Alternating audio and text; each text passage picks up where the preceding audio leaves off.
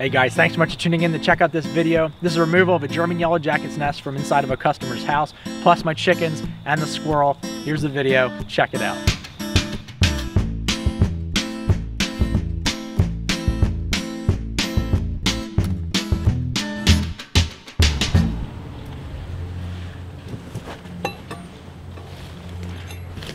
Oh yeah, there's mating going on here. Oh yeah. Invited, were you? No, I wasn't.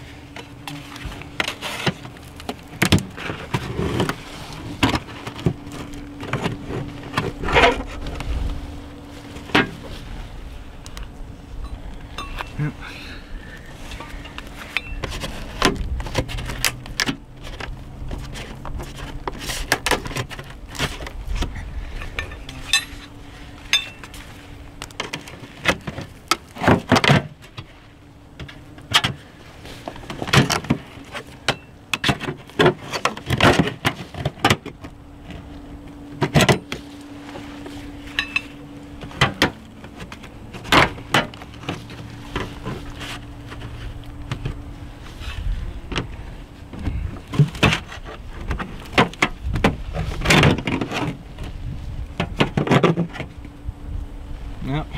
Here's the nest. Yeah.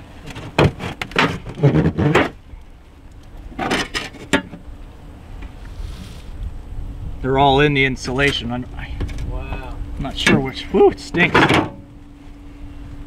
smells like smells like animal pee. Uh, Which I don't know. This particular species seems to smell that way. I don't know why it does. yeah. See all this? So there's. I don't think it's on this side. I think it's up here. Okay.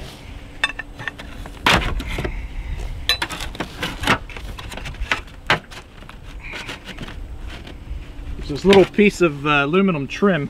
Uh huh. It just needs to be pulled down first, and then Okay. it can slide out and come down. Uh huh. So this can be bent back in place. It just might not be quite as flush Yeah. once we're. A lot of envelope up here. Wow.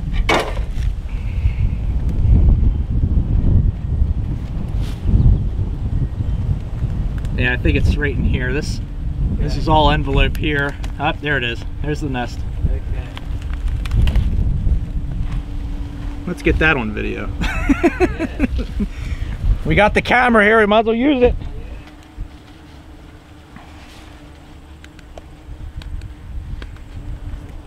There we go. Okay. All right, so here's the nest.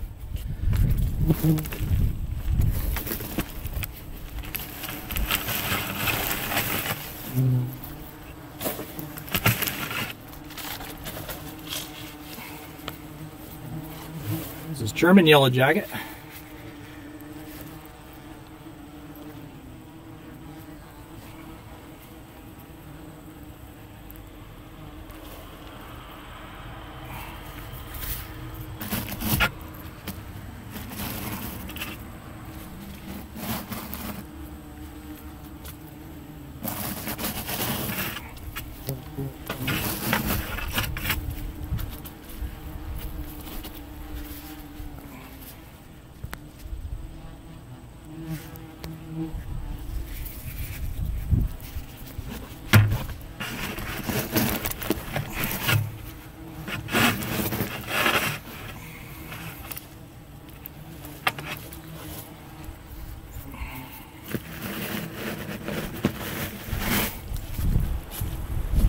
mean, this is an end of season nest for sure. Some activity in it, but it's definitely slowing down.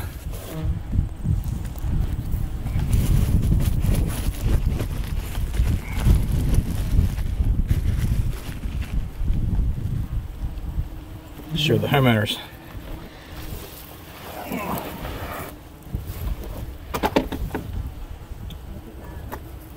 that was mashed up into the corner. Look at the intricate design. Mm-hmm. Crazy. Yeah, it's gorgeous. It is. All those little channels and chasms in there. Yeah. That's how they crawl through. And Yeah. Oh, here, I'll leave it here for you.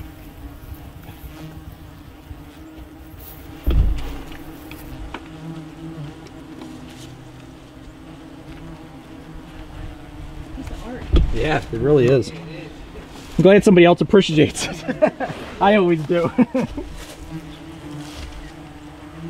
most people are like, what do you think that is? You're right. yep. A lot of the larvae are pretty much gone out of this colony. There used to be a girl.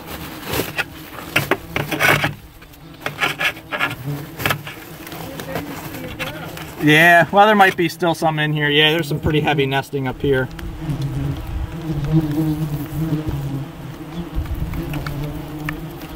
This is where they were consolidated. There's probably still some larvae back in there. They're spraying venom on my face. I can smell it. It's a mar pheromone marker, so the other ones know to where to, to attack.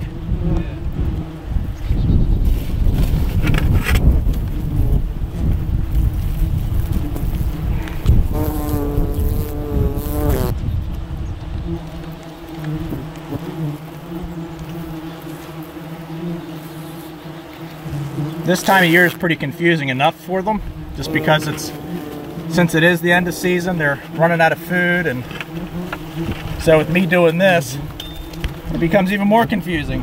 like what's happened to our home?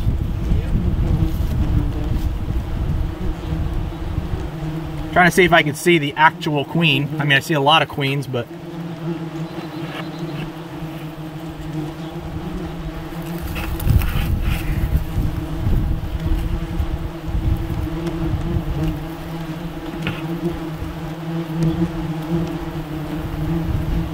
see all this activity out here.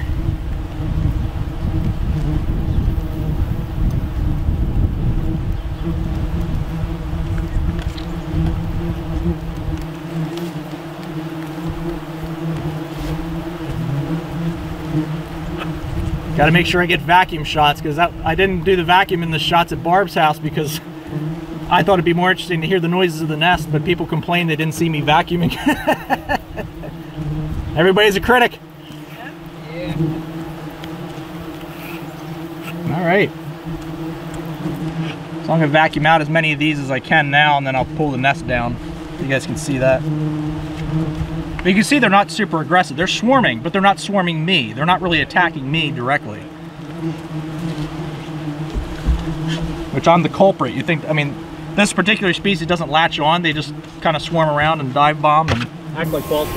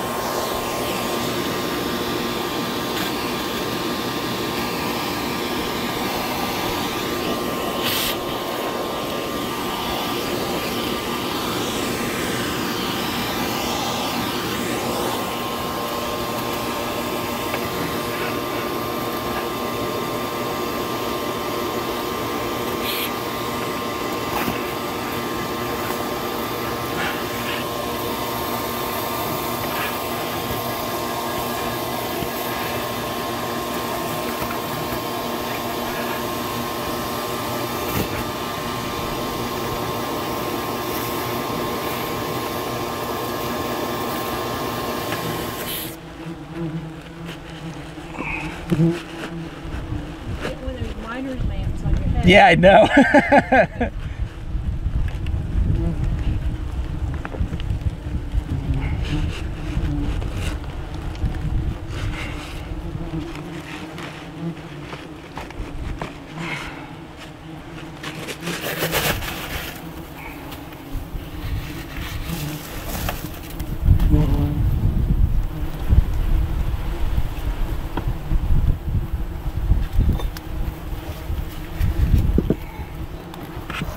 Yeah, there's really a way I can get that get that damaging some of it.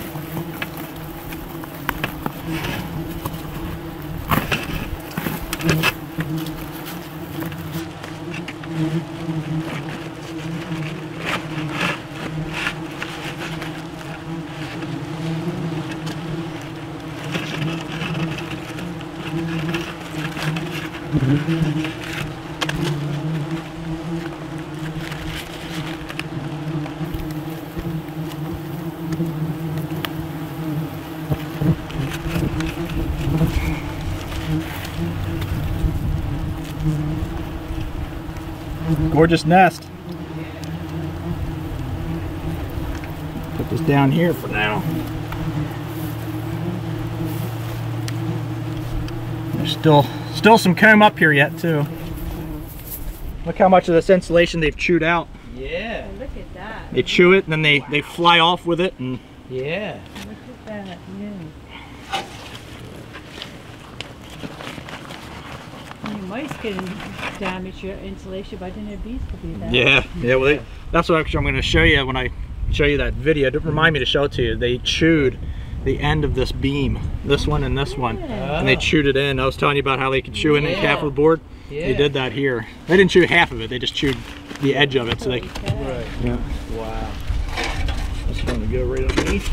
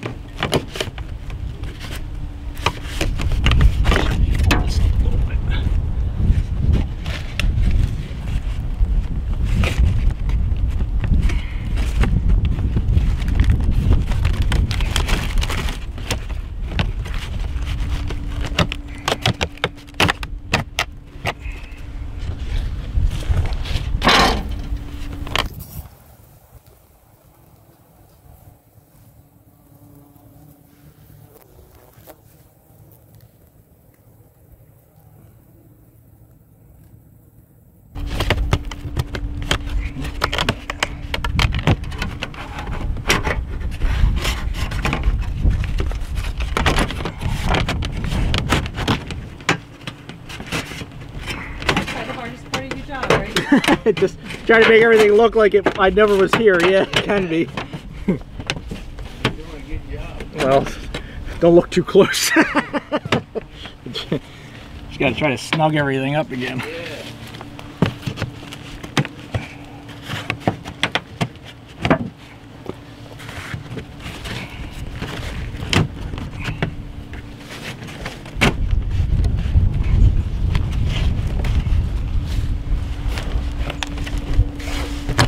Did construction for eight years. Oh, wow. So carpentry and mainly stonemasonry, but Okay. repaired a lot of stuff. Your And so yeah, I snapped together a few soffit or two. Thank you for asking. Not a lot of people do. Yeah, sure.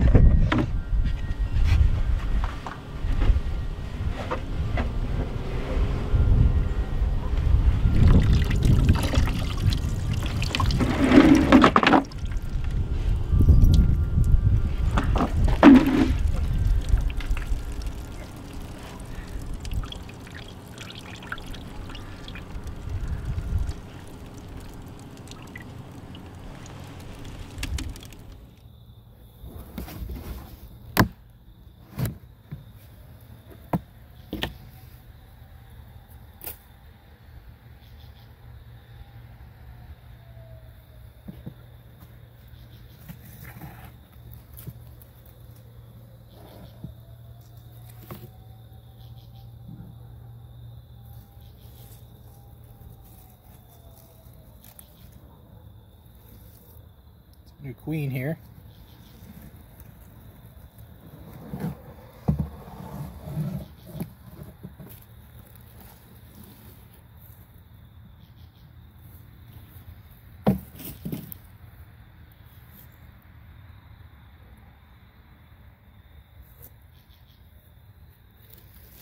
I do not have my suit on, so I'm going to be as delicate as possible here without getting stung. This is a new queen.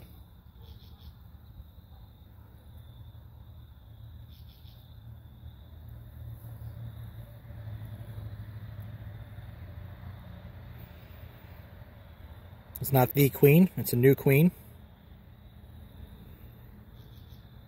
So I'll put her in the barn, see if she'll winter over. Oh, she's actually got chewed wings. Look at the tips of her wings. They're actually chewed off. So that could have been done by another queen or a worker. But she's not going to be able to fly. She's actually going to be a lost cause, unfortunately. We'll still let her go. That's a bummer.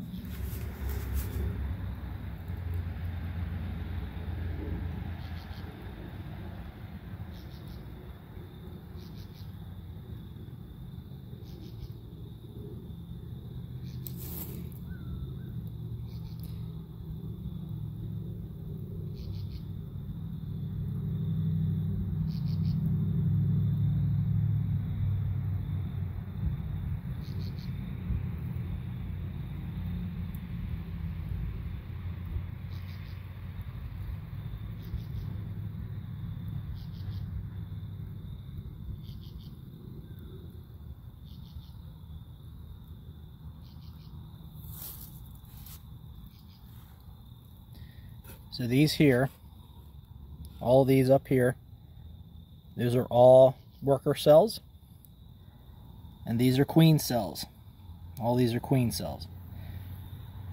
So males and new queens or reproductives would be in these cells and sterile females would be in this one. So as you can see, these cells have eggs and some larvae in them, but they're in cells that have already been hatched from adults. Let's see if we can get a good view of some eggs. So all these little tiny white specks in here, not the larvae, but the white specks, those are new eggs. So they would have turned into adult wasps, but they're in cells that have already been hatched out of. So you can see how these, there's the old silk and these little tiny like tethers, there's like fringes. Those are from silk caps being chewed off and there's new larvae growing in them. So there's been documents of wasp species do not reuse the same cells twice, which I call foul because I'm seeing it in a lot of nests. Even bald-faced hornets do it. So don't read, don't believe everything you read in a research paper from some university. They're just people, and when they speak in absolutes, that should be the first sign that maybe something's amiss.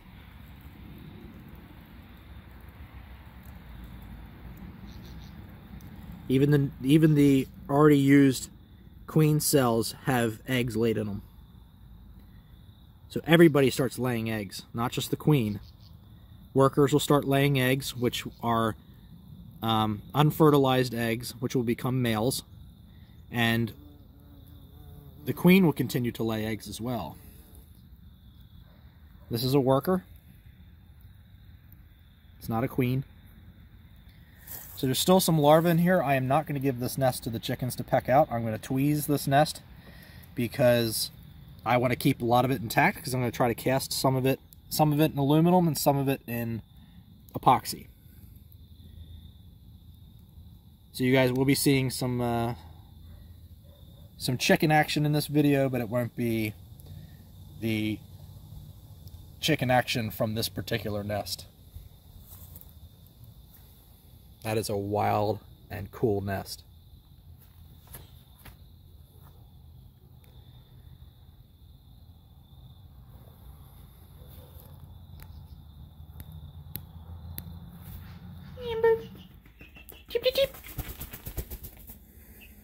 Good, Amber.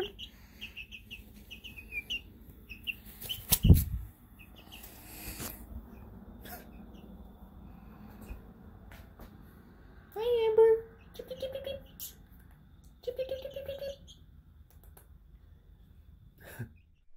All right, so just wanted to give you guys a couple, uh, couple little fun shots here of the squirrely squirrel and the chickens. Um, squirrely squirrel's here eating larvae.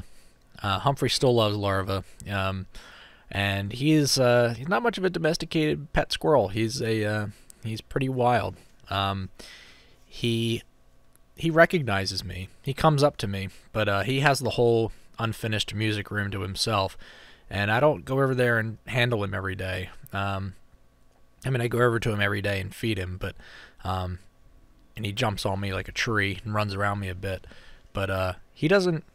He's pretty skittish about me, like going to touch him and stuff with my hands. He knows my face as being me, but he clearly um, isn't a big fan of my hands. I think he thinks they're a different part or a different creature altogether.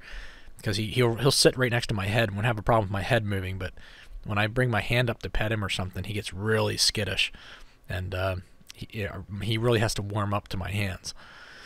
Um, but yeah, so I got some really funny shots of him here. Um, for those of you who watched to the end of the video, um, you won't be disappointed. There's a couple of really good shots. I'm excited for you guys to see. Please don't skip ahead. LOL. Um, so I find myself saying LOL more than actually laughing out loud. Good figure.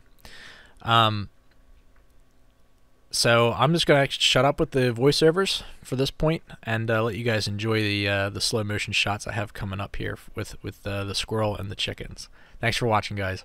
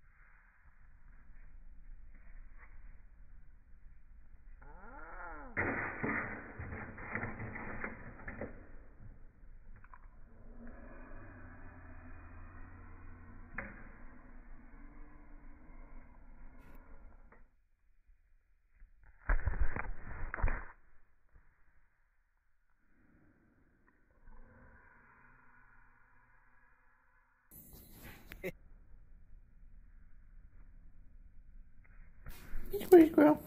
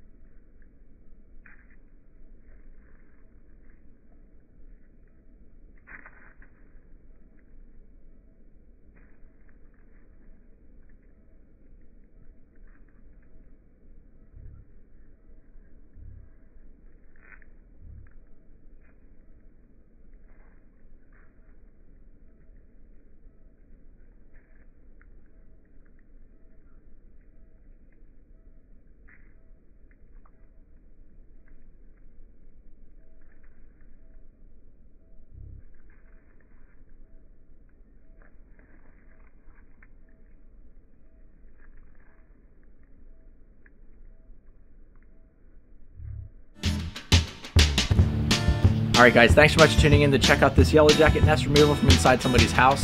If you guys enjoyed this content, drop in the comments, let me know what you think. If you have any ideas or suggestions for future videos or things you'd like to see me cover in my videos, drop in the comments also, let me know. If you guys are returning subscribers, thanks so much for tuning in to check out my videos. And if you haven't subscribed already, please consider doing so and hit that subscribe button down below. And uh, that way you guys can get updated on any videos I do put out in the future. Thanks so much for tuning in to check out these videos, and I'll catch you guys on the next one.